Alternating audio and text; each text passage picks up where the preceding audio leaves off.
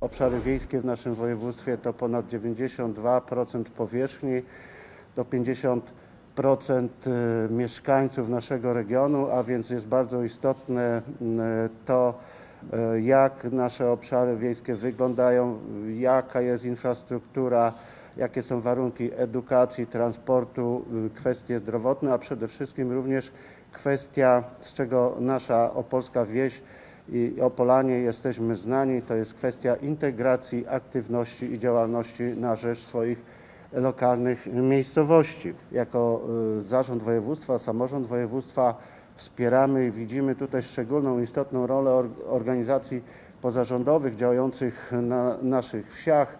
Wsparcie takie otrzymało prawie 100 organizacji E, może to tak trochę, e, co, co rozumiemy przez te organizacje, a więc to są przede wszystkim Ochotnicze Straże Pożarne, które mamy ponad 500 w naszym województwie, to są koła gospodyń wiejskich, to są ludowe zespoły sportowe, to są stowarzyszenia odnowy wsi, to są fundacje, a więc tutaj przede wszystkim mm, wyciągając również wnioski, o czym będę również za chwilę mówił, z programu odnowy wsi, stawiamy jako samorząd województwa na aktywność, gdyż te pieniądze, które są przeznaczane na wsparcie tych organizacji, e, znakomicie są pomnażane właśnie poprzez pomysłowość, poprzez działanie e, mieszkańców. Kwota 782 tysiące, jaka została udzielona tutaj na to wsparcie. W przyszłym roku planujemy kwotę 800 tysięcy złotych. E, to jest mm, to jest przede wszystkim, tutaj chciałbym podkreślić, że 2022 rok. Po raz pierwszy wyróżniamy tutaj nasze y, organizacje, czy właściwie pszczelarstwo, ale poprzez tutaj y, Związek Pszczelarzy do tej pory tutaj myślę, że organizacje te korzystały z, ze wsparcia dla organizacji pozarządowych, ale w tym roku będziemy tutaj dedykować te pieniądze właśnie ściśle dla tych y, organizacji. Jeżeli chodzi o 2022 rok, y, planujemy 400 tysięcy złotych właśnie na wsparcie infrastrukturalne, instytucjonalne. 250 tysięcy złotych to jest 25 lat opolskiego programu odnowy wsi. Ten rok, proszę Państwa, jest rokiem szczególnym, jeżeli chodzi o nasz program, z którego jesteśmy znani w kraju oraz 150 tysięcy złotych planujemy na Opolskie ze smakiem poprzez promocję sieci dziedzictwa kulinarnego e, kulinarne opolskie, produkty tradycyjne, lokalne i regionalne. Drogi transportu rolnego e, to jest Mm, działanie, propozycja samorządów województwa, kierunek wsparcia, który cieszy się dużym zainteresowaniem wśród samorządów. To jest kwota 5 milionów 160 w 2021, 23 gminy, 24 km dróg, dofinansowanie dla sześciu powiatów.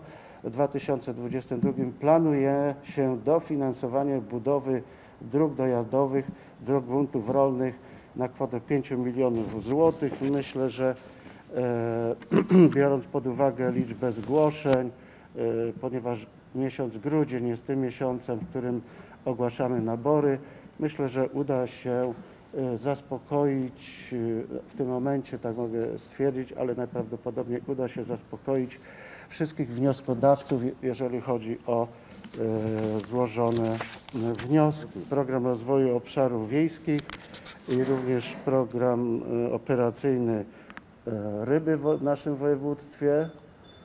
Ogłoszone zostało prawie 300 naborów, zawarte 200 e, umów, 900, ponad 900 umów na kwotę prawie 270 milionów, wypłacone 166 milionów złotych. Muszę powiedzieć dla mnie tajemnicą.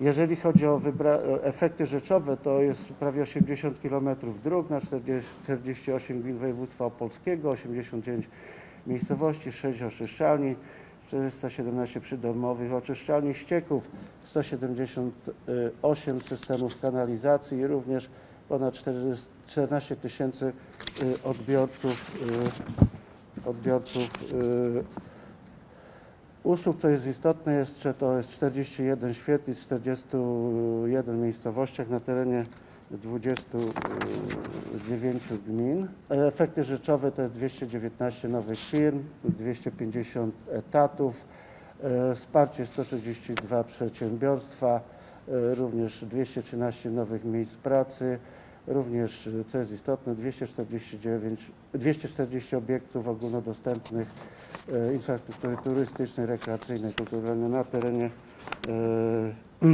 60 gmin, 157 miejscowościach. E, I program operacyjny Ryby, e, 66 naborów, e, kwota dofinansowania 16,7. Wnioski na tę kwotę zawarto umów na prawie 13 milionów, wypłacone 9 milionów.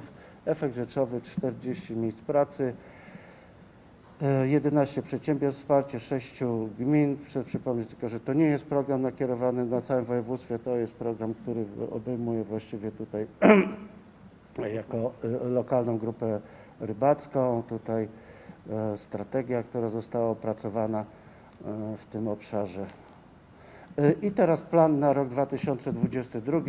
Gospodarka wodno-ściekowa, e, planowany nabór to e, e, najprawdopodobniej już w tym pierwszym kwartale 14,3 miliona euro. Budowa lub modernizacja dróg lokalnych 8,8 miliona. E, Lider e, 6,5 miliona euro, a więc wsparcie dla naszych 10 lokalnych grup e, działania i jednej e, grupy rybackiej. Konkurs dla partnerów KSOW 350 tysięcy i zarządzanie zasobami wodnymi. Tutaj no niestety ministerstwo jeszcze do tej pory, bo to są środki, proszę Państwa, e, związane e, z, z programem rozwoju obszarów wiejskich. E, Także ministerstwo jeszcze tutaj nie określiło e, kwoty, natomiast jest to wsparcie, które, którego beneficjentem będą głównie wody polskie. A więc tutaj e, e, myślę, że e, za chwilę poznamy i kwotę, i planowane przedsięwzięcia w naszym województwie związane właśnie z zabezpieczeniem wody dla rolnictwa. A w trzecim kwartale 2020 roku rozpocznie się mm, konkurs na wybór lokalnych strategii rozwoju, a więc to, jest, to ma to związek z obecnie funkcjonującymi dziesięcioma lokalnymi grupami działania.